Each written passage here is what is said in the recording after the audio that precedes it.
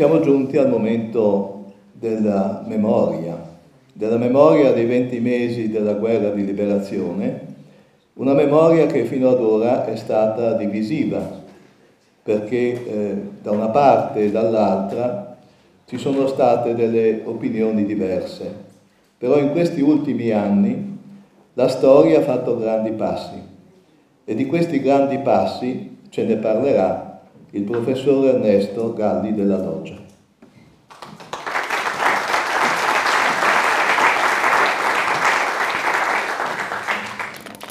Semmai fosse necessaria una prova che tra il 1943 e il 1945 quella che si combatté in Italia fu una vera guerra civile, questa prova è certamente la cancellazione che dopo la fine della guerra colpì la memoria dei vinti. Infatti, come si sa, molti, per molti decenni dopo la guerra, i motivi non necessariamente tutti spregevoli della lotta di coloro che si battevano dalla parte del fascismo, la, le ragioni di coloro che non avevano ragione, ma che avevano qualche ragione. Queste ragioni non trovarono naturalmente la minima ospitalità nel discorso pubblico italiano. Si trattò della quella che noi chiamiamo la damnatio memorie, che da sempre, quando per l'appunto si tratta di una guerra civile, colpisce la, la storia di Vinti, la memoria dei Vinti. Ben più raro però, invece, è il caso che un'analoga damnatio memoria sia riservata ai vincitori delle guerre civili, o almeno a qualcuno di essi. Precisamente questo caso, molto singolare, è stato quello occorso alla Brigata Osoppo e le sue vicende, per molti decenni ignorate o comunque messe da parte, radicalmente sminuite se non addirittura, come dicevo, ignorate e occultate dal discorso pubblico del nostro Paese. Basti dire, ad esempio, che ancora nel 1980, in una enciclopedia della Resistenza curata da Arrigo Boldrini, leggendario comandante delle brigate Garibaldi, deputato, vicepresidente della Camera dal 1947 e presidente a vita dell'AMPI, ancora una volta appunto fa, in questa enciclopedia non si fa alcuna menzione dell'esistenza dello Soppo tra le formazioni partigiane attive nella resistenza, ma non la si cita neppure sotto la voce attività del clero durante la resistenza. Agli Osovani è dedicato in questa enciclopedia solo un cenno sotto la voce cattolici nella resistenza, ma appena un cenno dove si dice peraltro che l'origine dello Soppo era in realtà un'origine azionista. Se ne parla soltanto per qualche riga dello Soppo a proposito della Repubblica Partigiana della Caglia. Del resto, anche nel testo che è stato, almeno fino agli anni 70, un testo di riferimento essenziale per la storia della Resistenza, cioè il libro di Roberto Battaglia, alle vicende dello Soppo non sono dedicati più di tre o quattro fugacissimi, fugacissimi, davvero fugacissimi accenni. E il fatto di Porcius è dedicato solo una breve nota, dove si cita tra l'altro la conclusione della sentenza della vicenda giudiziaria, una sentenza così che condannò sì, molti dei responsabili dell'eccidio, ma che però diciamo così, contiene anche diciamo, delle motivazioni alquanto diciamo così, elusive, piuttosto pilatesche, delle motivazioni che secondo i giudici portarono poi all'eccidio, dove si dice appunto che in fondo appunto la causa dell'eccidio, l'omicidio, appunto sono parole testuali della sentenza, ebbe come causa l'odio politico, parole testuali, l'odio politico divampato dall'anticomunismo di bolla che, sorpassando quello di ogni altro, esplose in un ambiente infuocato e saturo delle più sconcertanti risonanze, parole veramente diciamo così, di difficile interpretazione, andando a cozzare contro l'animosa intolleranza di fanatici avversari. Insomma, quasi come se in fondo diciamo, si fosse stata tutta colpa di quello che era successo dell'anticomunismo un po' eccessivo di, di Bolla.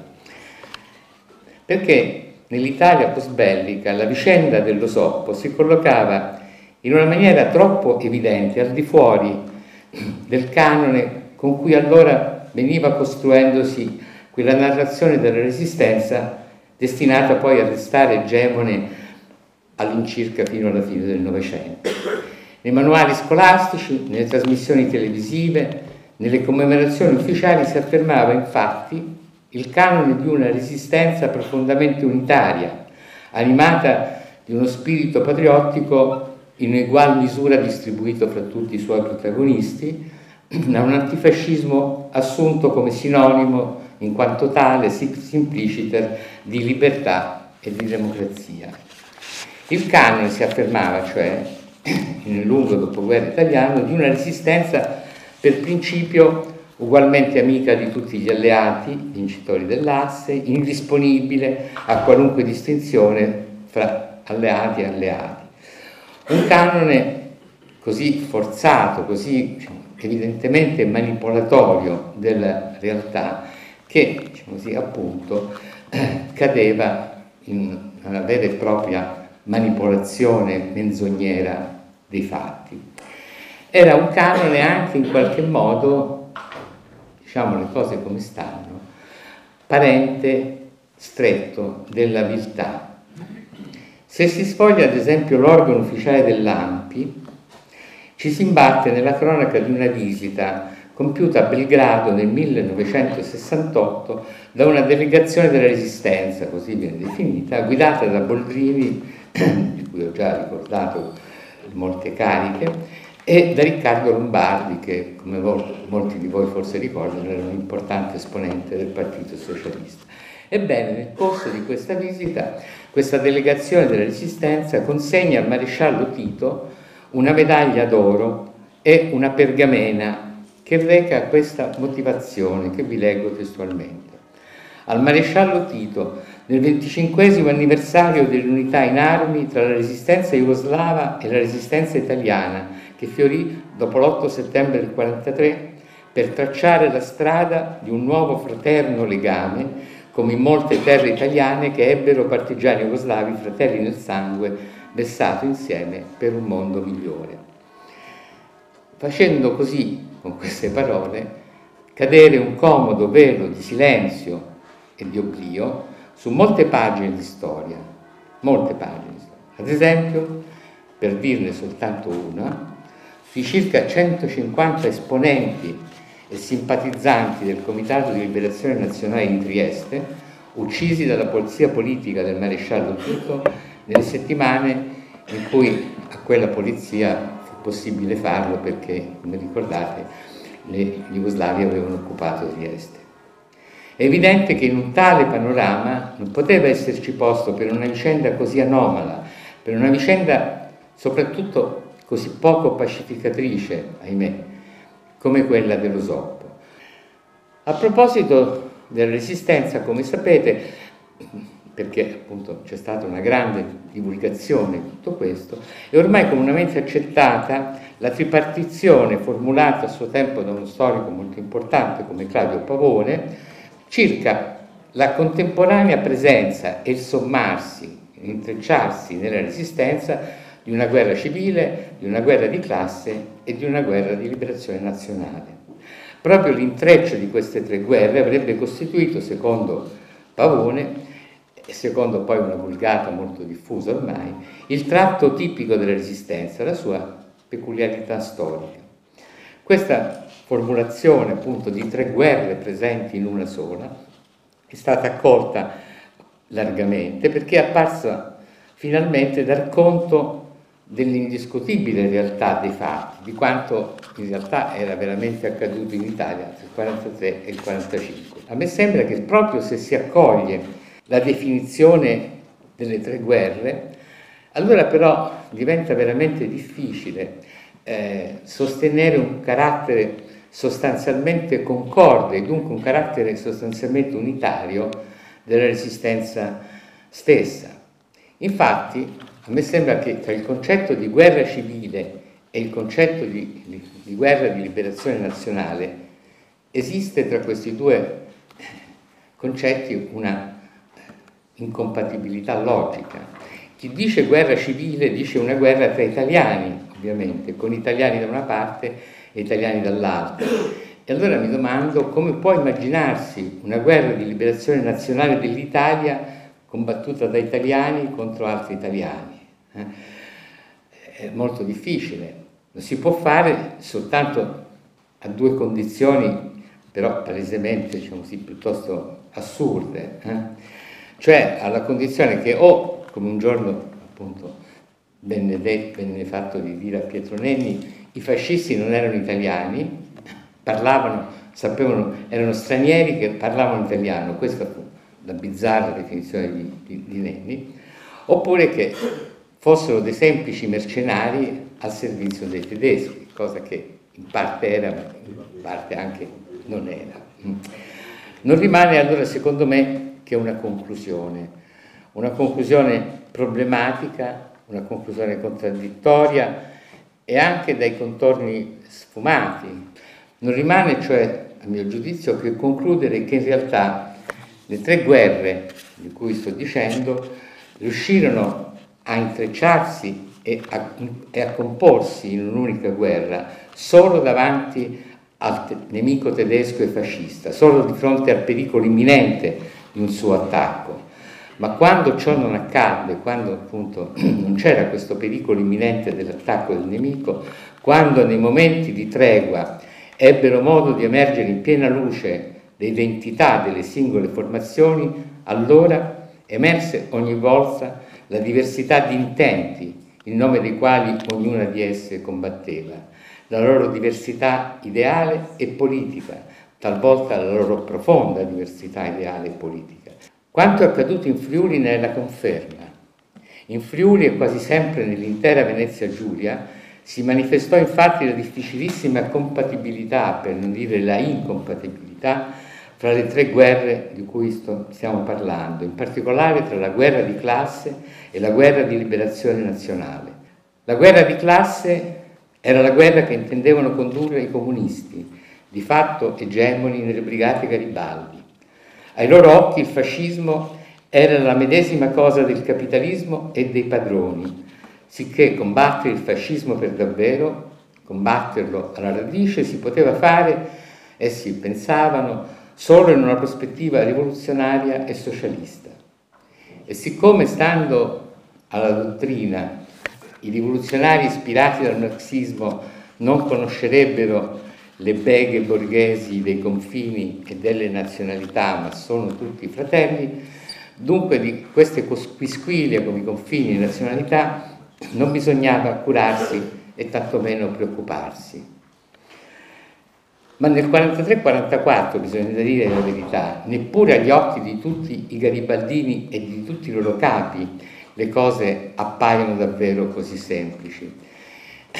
Molti garibaldini e alcuni dei loro capi sanno che sulle popolazioni slave che si sono ritrovate incluse nella regione dopo l'allargamento dei confini in conseguenza della vittoria italiana nel 1918, il fascismo ha esercitato un feroce e capillare tentativo di snazionalizzazione e non ignorano quindi che adesso l'esercito di liberazione jugoslavo, i partigiani comunisti di Tito, premono minacciosamente sui confini d'Italia, mossi da quello che si può considerare anche un ovvio senso di vincita, di rivalsa e da un, un desiderio espansionistico vero e proprio. Non ignorano neppure alcuni, molti, alcuni dei garibaldini, alcuni, pochi dei loro capi, non ignorano l'intenzione palese degli jugoslavi di occupare Trieste e il territorio italiano fino addirittura al tagliamento, rivendicandone l'appartenenza al futuro Stato comunista slavo. Anche nelle file comuniste, insomma, c'è chi si chiede se è giusto cooperare con le formazioni partigiane d'oltreconfine in nome dell'internazionalismo proletario, se è davvero opportuno sentirsi tenuti ad avere verso di essi un atteggiamento disponibile e in un certo senso obbediente fino alla sottomissione, quasi che gli jugoslavi fossero una specie di fratello maggiore.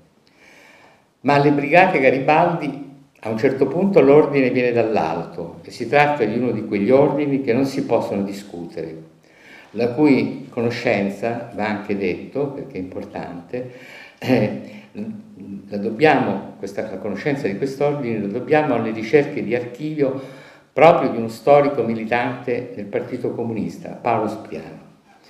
Già il 24 settembre del 1944 Vincenzo Bianco, un esponente di primo piano del Partito Comunista, un suo dirigente che è stato alcuni mesi in Jugoslavia, viene inviato a Trieste dal centro-nord del partito con il compito di portare diciamo così, gli ordini dal centro alle formazioni sul campo. Indica alle federazioni di Udine e di Trieste la necessità di mettere le unità italiane partigiane che si trovano in quella zona operativa sotto il comando del nono corpus dell'esercito jugoslavo. Nonostante alcune perplessità alla base delle formazioni garibaldine, l'ordine viene eseguito e alla fine di ottobre la brigata Garibaldi Matisone passa sotto il comando straniero. Il 19 ottobre arriva infine il crisma definitivo dal livello più alto del partito a nome della direzione del Partito Comunista, il segretario Togliatti precisa le indicazioni di Bianco. Noi, scrive, sono parole testuali Togliatti, consideriamo come un fatto positivo di cui dobbiamo rallegrarci e che in tutti i modi dobbiamo favorire l'occupazione della regione giuliana da parte delle truppe del maresciallo Tito. Questo vuol dire che i comunisti devono prendere posizione contro tutti quegli elementi italiani che si mantengono sul terreno e agiscono a favore dell'imperialismo e nazionalismo italiano e contro tutti coloro che contribuiscono in qualsiasi modo a creare discordia tra i due popoli. La linea d'azione dei Garibaldini è dunque segnata. Non a caso nel novembre del 1944, pochissimo tempo dopo queste parole, il Partito Comunista esce dal CLN della Venezia Giulia e alla vigilia dell'insurrezione della primavera del 1945 il rappresentante dello stesso Partito Comunista nel CLN, nel CLN nazionale definisce il CLN di Trieste un comitato, cito, sciovinista antislavo che tratta coi nazi fascisti. Nelle parole di Togliatti, nella loro noncuranza per la realtà del sentimento patriottico, non c'era, come si capisce, nessun posto per la guerra di liberazione nazionale. E dunque quelle parole segnano pure l'inevitabilità di uno scontro, dal momento che invece solo in vista di una guerra di liberazione nazionale e sotto la spinta di un sentimento patriottico era nata invece la brigata Osoppo, che oggi ricordiamo. Voglio solo sottolineare la parte assolutamente centrale che in essa ebbe il clero, una parte illustrata come meglio non si potrebbe da una figura decisiva, quella di Aldo Moretti, Don Lino,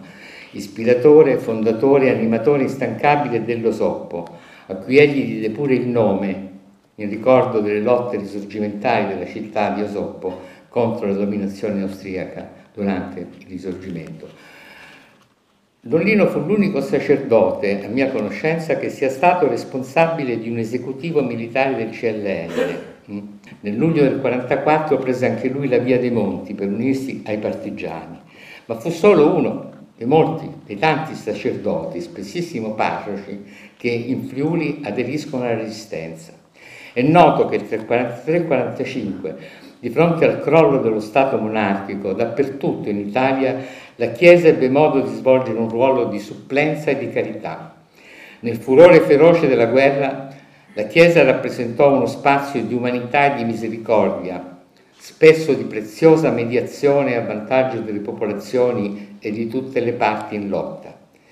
Non solo, ma certamente furono dovunque non pochi sacerdoti e vescovi che con il cuore, talvolta con l'azione, si schierarono dalla parte della resistenza. Ma quanto accadde qui, in questa regione, in Friuli, non ha paragoni con nessun altro luogo d'Italia.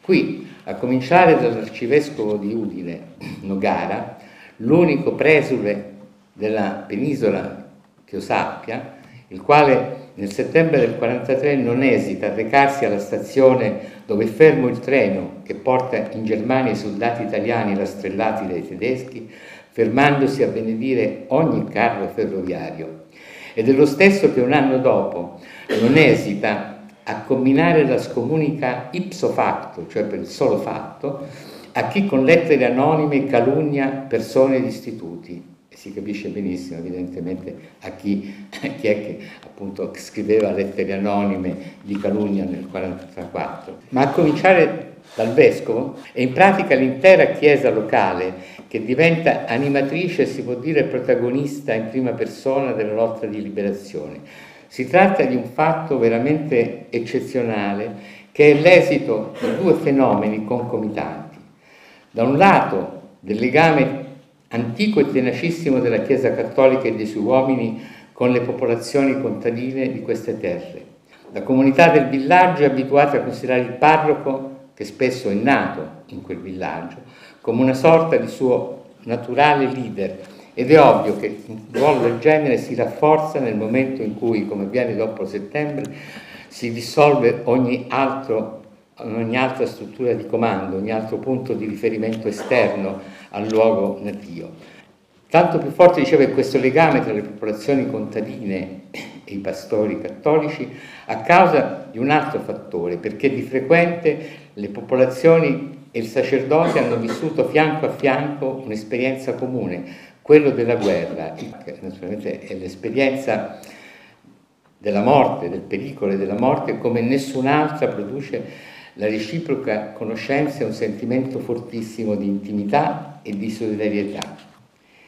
E così Don Lino, che non a caso è stato infatti cappellano nel, nell'esercito italiano e come tale si è guadagnato sul campo una medaglia d'oro al valor militare, già alla fine del 1943 chiede al vescovo di Udine di ottenere da Roma la facoltà ecclesiastica per i preti che scelgono di andare con i partigiani di avere il ruolo ufficiale di cappellano. E da Roma Aldo Moretti ricorda Don Lino nelle sue memorie che proprio dal vescovo castrense, che poi in quel momento era il vescovo castrense dell'esercito ufficiale repubblichino, arrivò però il consenso a che appunto i preti potessero andare con le formazioni partigiane a fare il cappellano. I preti dello Soppo sono stati in gran parte, come ricordavo, cappellani militari, spesso nelle unità alpine. Essi dunque non solo sanno bene cosa significa il mestiere delle armi, ma hanno anche avuto modo di conoscere molti ufficiali del Regio Esercito. Nei giorni successivi all'armistizio, non pochi di questi ufficiali del Regio Esercito, che tra l'altro sono reduci spessissimo dall'aver combattuto nei Balcani contro le formazioni partigiane fifine, unitamente a piccoli gruppi di soldati sbandati, hanno trovato rifugio e nascondiglio un po' dappertutto nella regione. Da questi uomini, nell'autunno del 1943, è nata una formazione autonoma comandata dal capitano Manlio Cengic. Allorché dunque le bande garibaldine, che già sono sul campo, rifiutano di mettersi agli ordini del CLN di Udine, e quindi in qualche modo rompono l'unità della resistenza, è abbastanza naturale che proprio Don Lino si metta in collegamento con Cengic. Don Lino insieme ad uno schieramento più vasto,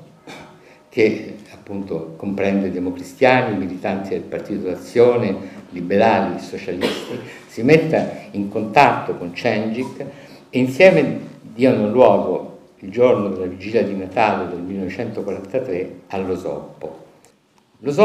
non ha una precisa collocazione politica, ma non ha assolutamente un carattere apolitico, mentre invece appunto quasi tutte le altre formazioni eh, autonome avevano sostanzialmente un carattere apolitico, se non spesso, non sempre monarchico. La politicità, eh, la non partiticità, ma la politicità però dello Soppo, ma lo dimostra in maniera chiarissima un episodio, e cioè quando nel, nell'autunno del 44 il vescovo, prima ricordato, il vescovo di Udine Nogara, eh, in un momento particolarmente difficile per la resistenza, l'autunno del 44 e l'autunno del messaggio di Alexander che invita sostanzialmente le formazioni partigiane alla smobilitazione, in più eh, diciamo così, è una stagione dal tempo assolutamente inclemente che rende difficilissimo la vita in montagna. In questo momento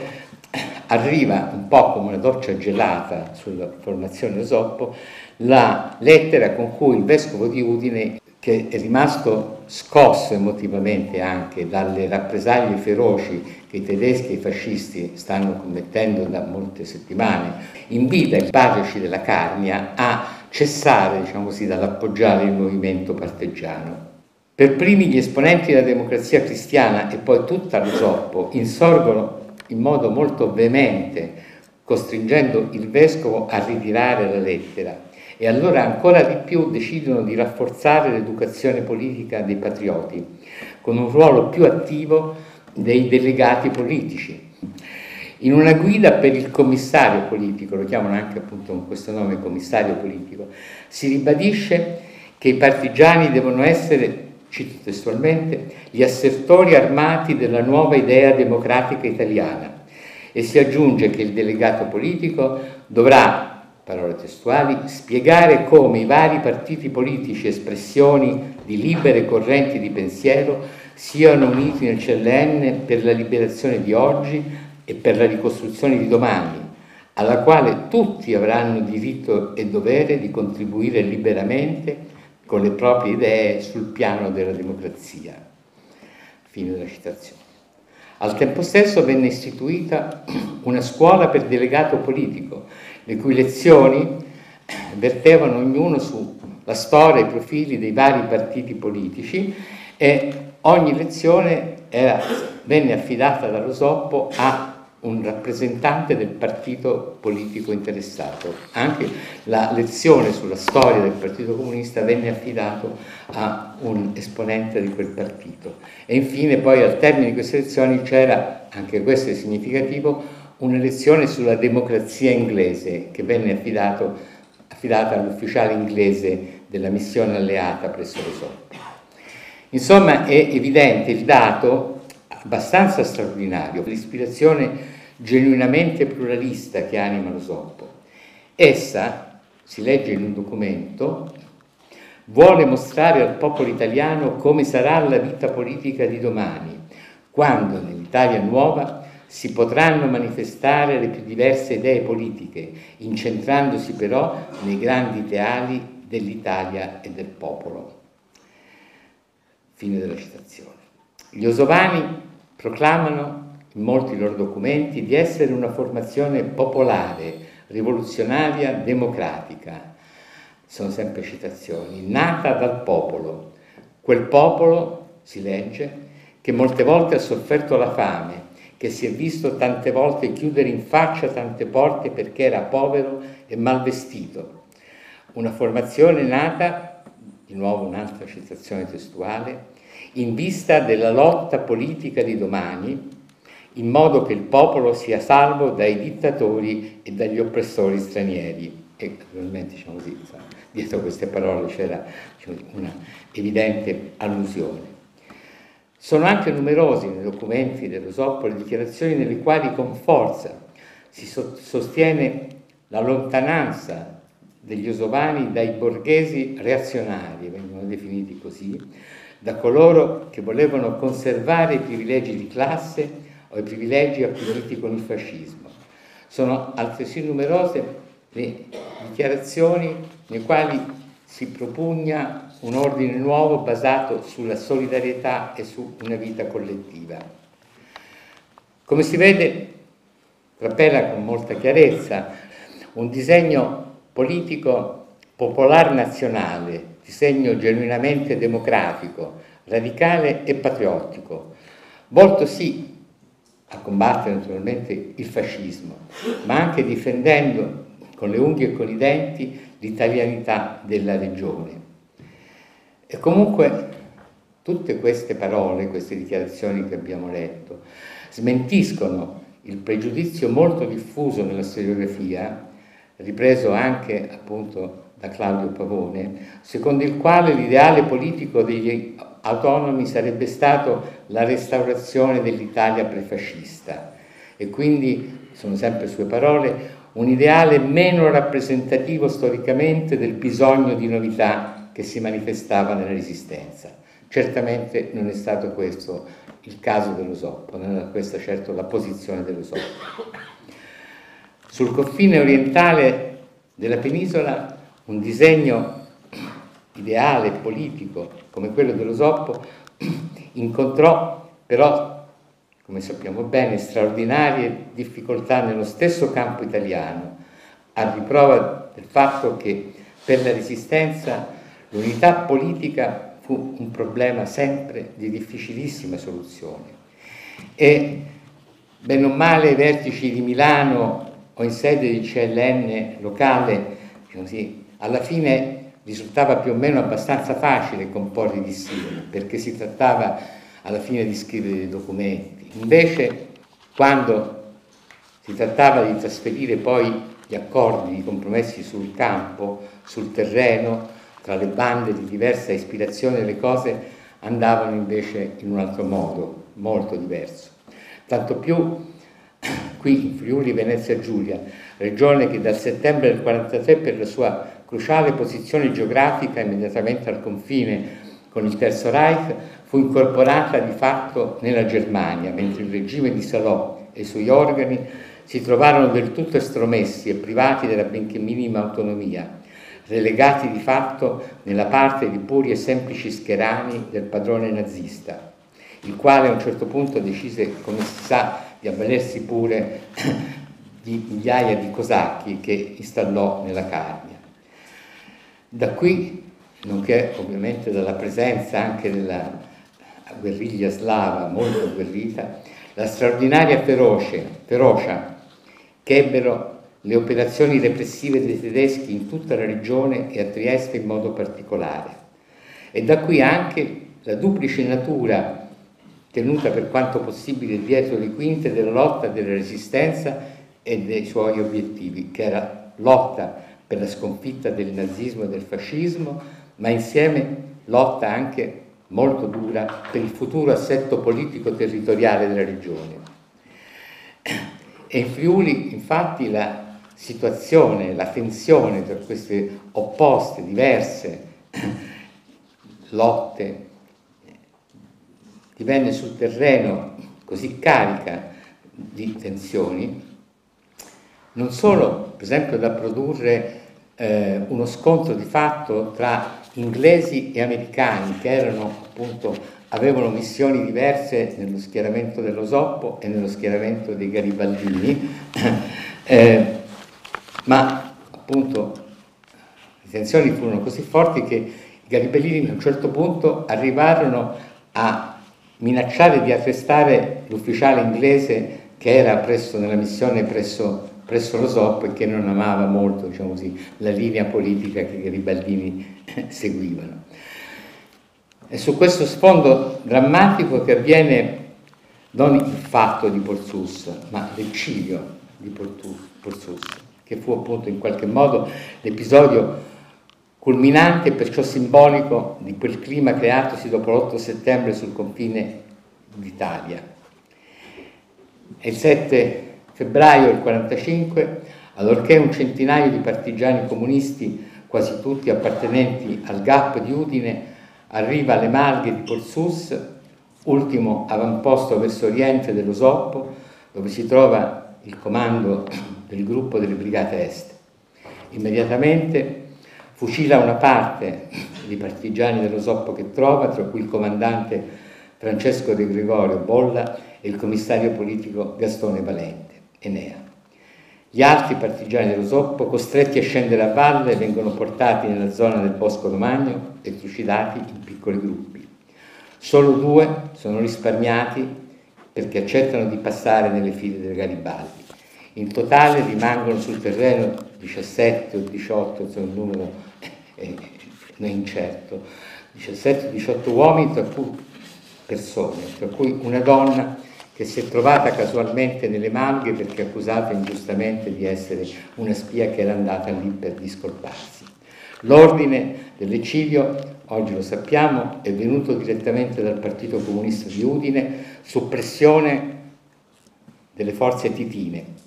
e a dimostrazione che l'eccidio è parte di un disegno politico più ampio, pochi giorni prima altri tre combattenti dello Soppo sono stati catturati da elementi slavi del nono corpus e passati immediatamente per le armi. Anche questi morti vanno ad aggiungersi agli oltre 700 partigiani dello che alla fine della guerra risulteranno caduti nella lotta di liberazione, non pochi dei quali hanno visto la propria vita spegnersi dopo efferate torture ad opera dei carnefici tedeschi, fascisti o cosacchi. Caduti non solo per la liberazione dell'Italia dalla dittatura fascista e dall'occupazione tedesca, ma anche perché l'Italia fosse il paese libero che noi da allora conosciamo. La Repubblica ha alle sue spalle questo irto e doloroso passato, ma non solo, anche la sua vita, le sue vicende post-belliche non sono state certo facili. La Repubblica ha dovuto superare le conseguenze di una catastrofe militare accompagnata da una mole di distruzione senza pari, ha dovuto superare i ricordi amari di una guerra civile effettiva durata un anno e mezzo e di una guerra successiva, nei decenni successivi, di una guerra potenziale eh, civile, durata a lungo lo Stato l'utente per fortuna. Ha dovuto fare i conti con ingiustizie e con tensioni sociali aspre, con l'eredità nascosta del fascismo e del comunismo, la cui eco è risuonata lugubre ancora per tutti gli anni 70 nell'attacco armato mossole contro dal terrorismo rosso e nero. E tuttavia, più forte di tutto, si è mostrata ogni volta la potenza vitale della libertà, della semplice libertà senza aggettivi. Ogni volta il radicamento dei nostri ordinamenti democratici si è mostrato maggiore delle suggestioni palingenetiche della violenza, della deriva che conduce alla dittatura e alla disgregazione. Ma se tutto ciò è accaduto, se l'Italia è ancora in piedi, per fortuna, se l'Italia è ancora qui, nel Friuli e nella Venezia Giulia, lo dobbiamo in non piccola misura alle donne e agli uomini dello Soppo che in una situazione drammatica come poche seppero mettere in gioco la vita per conservare i propri focolari e la propria fede e con essi quella libertà e quella patria che continua ad essere la nostra.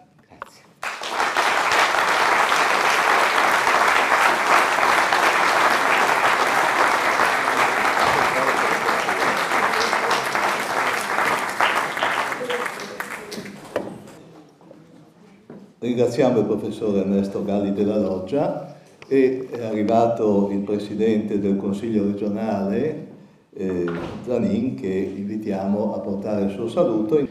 Le istituzioni molte volte allontanandosi tem nel tempo quei fatti rischiano di perdere la tensione etico e morale di perché loro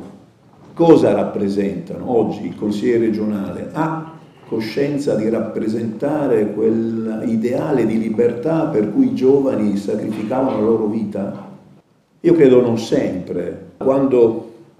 le cose sono rutinarie si dà per scontato che esistano da sempre, così come quando al primo rubinetto l'acqua per noi è una cosa naturale che ci sia nelle nostre case. Poi c'è sempre stato chi ha vissuto nella libertà e quindi non dà, secondo me, quell'attenzione per cui le loro azioni dovrebbero essere coerenti per rispetto a coloro che ce le hanno concesse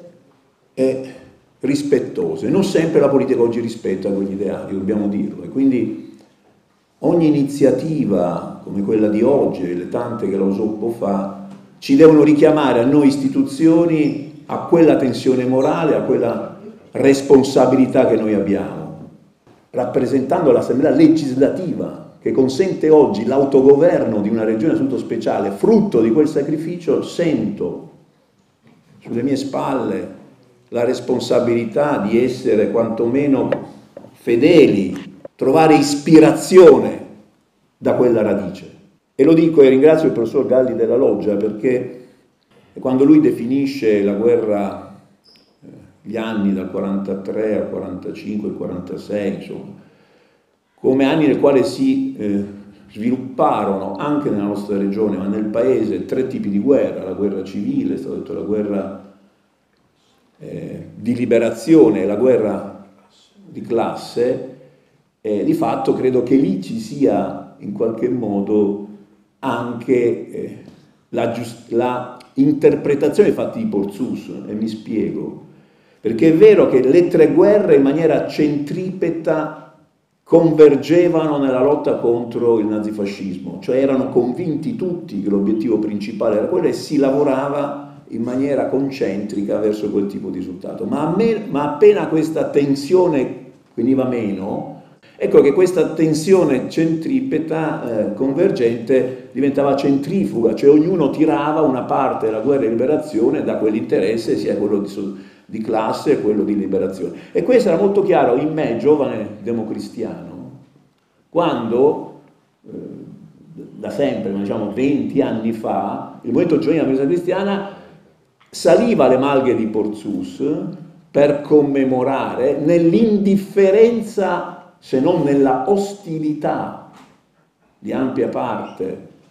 eh, dell'opinione pubblica della nostra regione, faceva più male l'indifferenza che l'ostilità, devo dire.